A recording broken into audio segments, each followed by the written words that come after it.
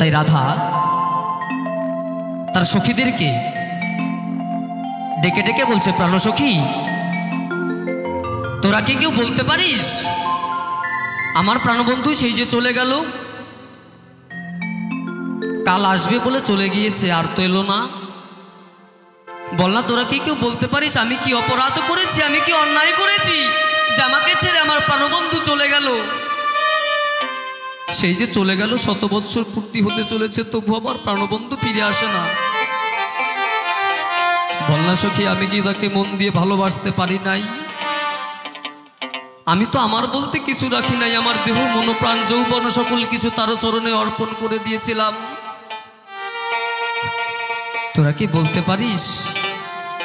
অভিমান করে বিনোদিনী রায় তাদের সখীদের কাছে বলছে প্রাণসখী তবে তোদের কাছে আমার আজকে শেষের নিবেদন। কি নিবেদন জানিস? যখন কেউ এ ধরা থেকে চলে যায়, যখন কারও দেহ থেকে প্রাণ পাখি উড়ে চলে যায়, তখন তাকে শেষ বিদায় জানায়। তাই কৃষ্ণ শূন্য হয়ে আমি থাকতে পারব না, তোর আজকে আমাকে শেষ বারের মতন শেষ বিদায়ের সাজে সাজিয়ে দে। আর কোনো দিন তোদের বলব না আমাকে সাজাতে। বিনোদিনী রায় কান্না করছেন আর সখীদের কাছে গাইছেন। সেখানে দাঁড়িয়ে বিজয় সরকার কলম দিলেন।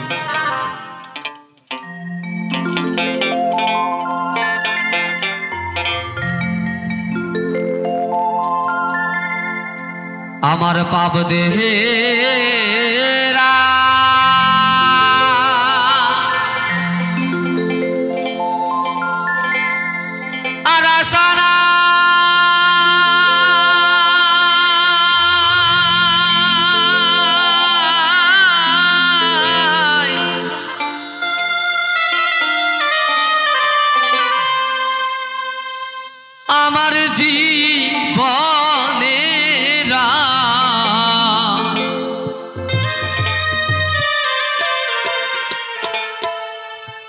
আর ভরসা নাই।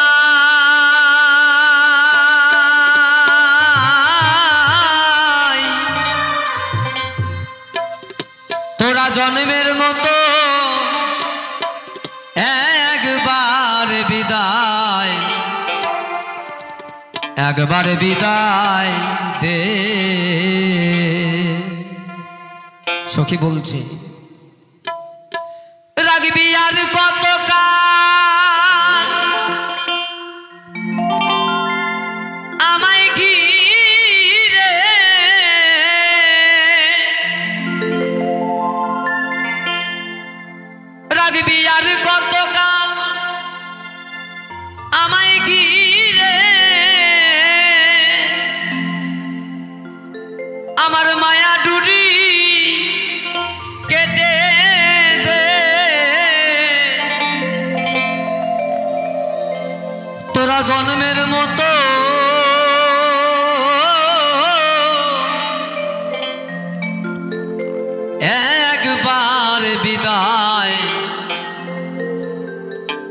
একবার বিদায় দে।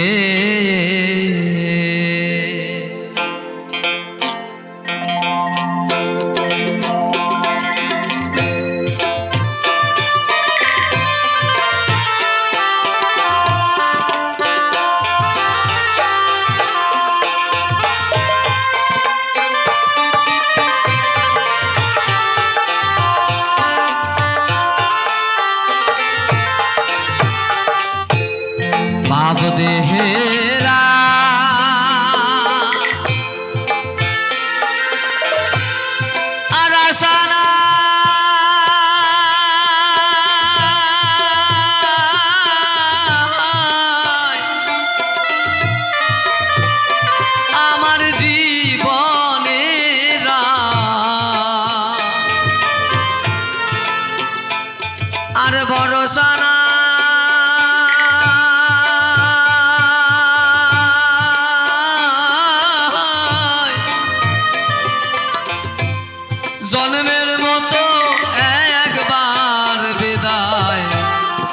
একবার বিদায় দে। জন্মের মতো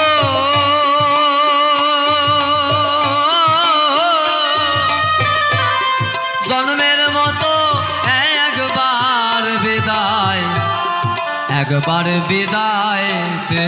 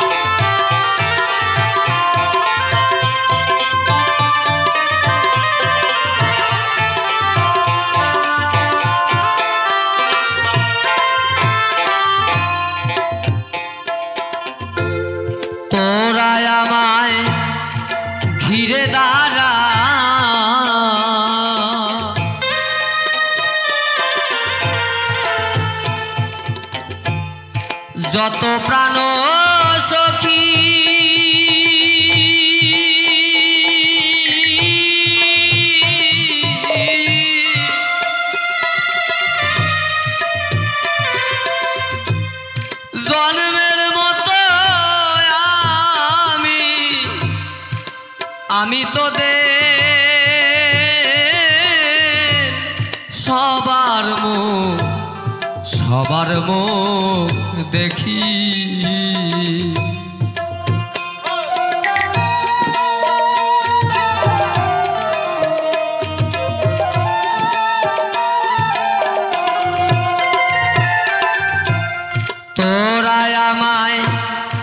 ঘিরে দাঁড়া।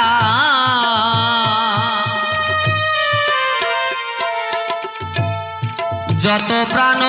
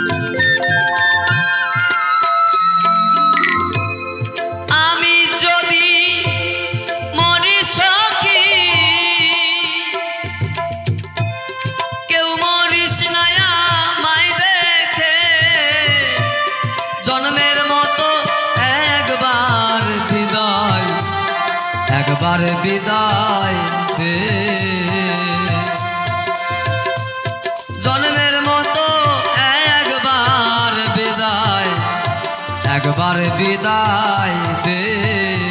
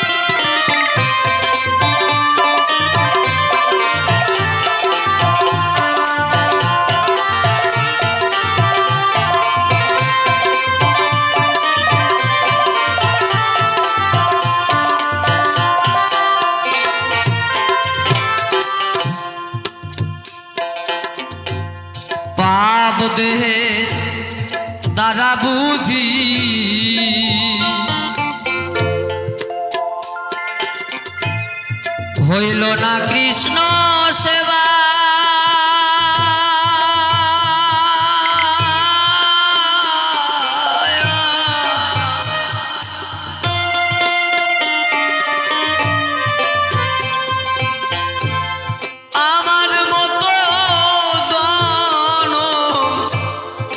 জনম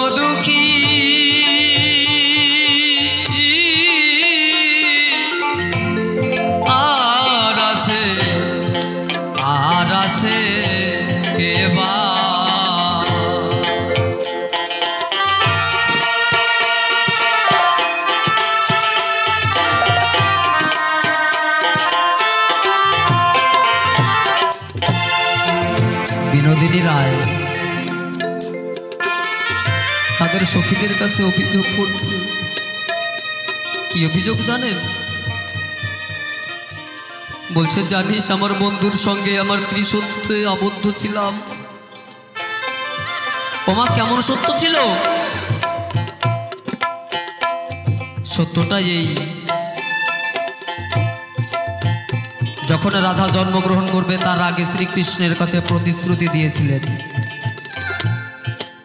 রাধা বলেছিল, প্রাণনাথ, আমি ধরাই যাব, কিন্তু গিয়ে যেন সর্বপ্রথম তোমাকে আমি দর্শন করতে পারি বলো, হবে কি না আমি তোমাকে সর্বপ্রথম দর্শন করতে পারব কি না আমি অন্য কারও মুখ দর্শন করতে চাই না। আমি যখন ধরাই যাব, আমি যেন সর্বপ্রথম তোমার বদনে হেরি। কৃষ্ণ বলেছিল, তথাস্ত তাই হবে। ও মা, যখন রাধা জন্মগ্রহণ করলেন, কৃষ্ণ বুঝতে পারলেন, তাই বিনোদিনী রায় এসে এসে গেছে। ভগবান শ্রীকৃষ্ণ রাধার সামনে এসে দাঁড়িয়ে রাধাকে ডেকে ডেকে বলছে, বিনোদিনী রায়, আমি যে তোমায় কথা দিয়েছিলাম, তুমি আমাকে সর্বপ্রথম দেখবে ও রাধা কৃষ্ণকে সর্বপ্রথম দেখতে পাবে বলে অন্ধ অবস্থায় জন্মগ্রহণ করেছিলেন। যখন শ্রীকৃষ্ণ ডেকে ডেকে বলছে, বিনোদিনী রায়, দেখো, আমি তোমার সামনে দাঁড়িয়েছি, তুমি একটিবার চোখ খুলে দেখো। রাধা চোখ খুললেন। যখন কৃষ্ণকে দেখতে পেলেন দেখতে পেয়ে করলেন না দেরি, তার দেহ, মনোপ্রাণ, যৌবন, সকল কিছু তার চরণে অর্পণ করে দিলেন। আমার বলতে আর কিছু নাই, এখনও যত কিছু, সব কিছু গোবিন্দের চরণ আমি অর্পণ করে দিলাম। আমার এতটুকু দোয়ার পরেও আমার বলতে তো আমি কিছু রাখি নাই, বল না সখী। আমি কি এত পাপি, আমি কি এত মহাপাপী হয়ে গেছি যে আমাকে ছেড়ে আমার প্রাণবন্ধু চলে গেল?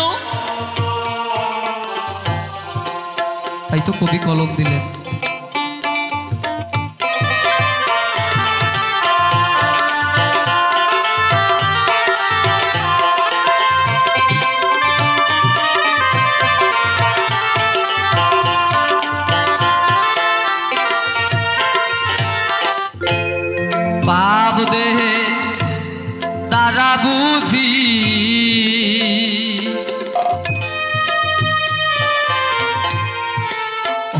হইল না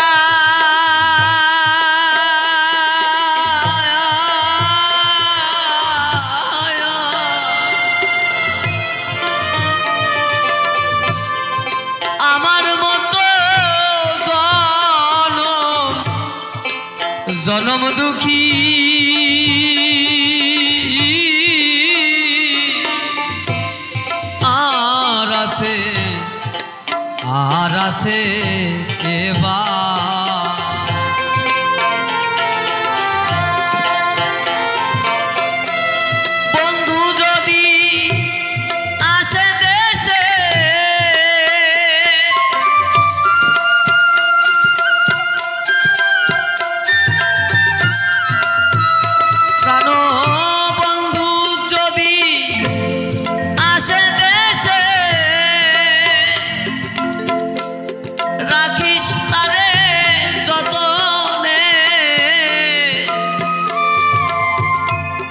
জন্মের মতো একবার বিদায় একবার বিদায় দে। জন্মের মতো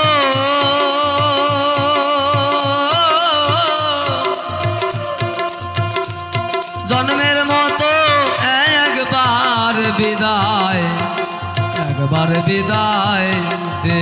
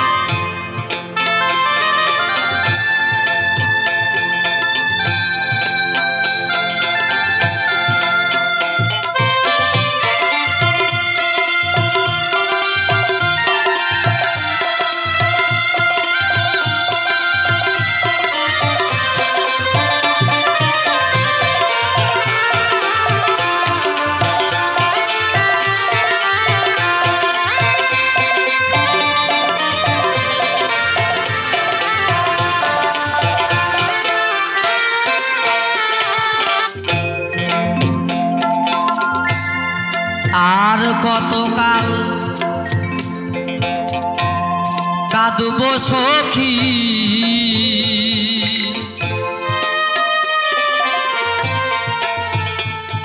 আমি ভাবি কান্নার শেষে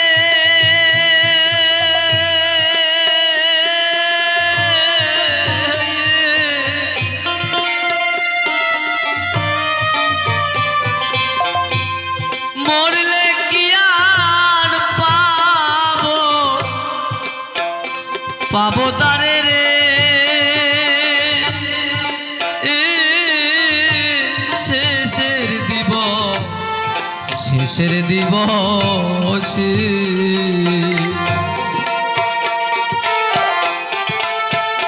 হরিবাল হরিবাল।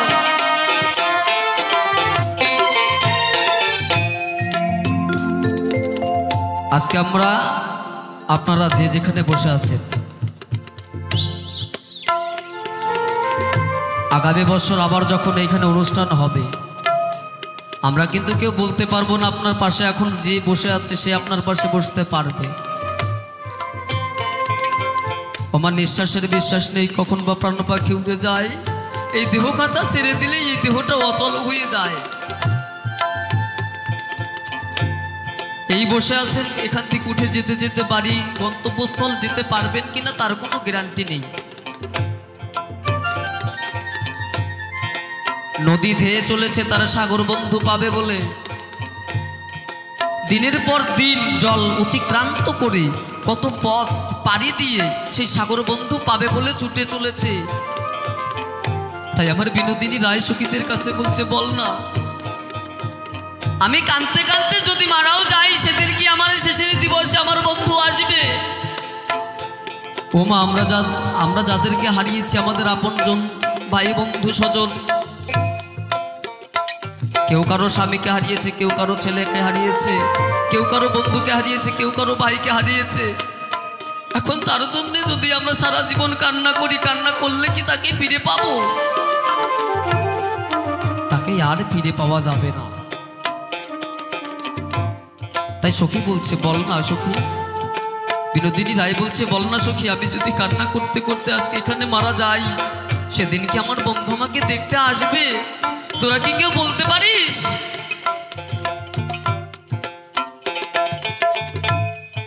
আর কতকাল কাঁদব সখী আমি ভাবি কান্নার শেষে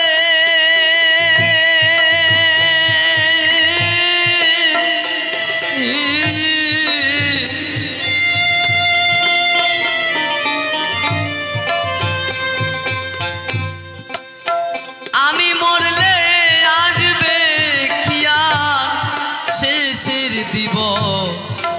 শেষের দিবসে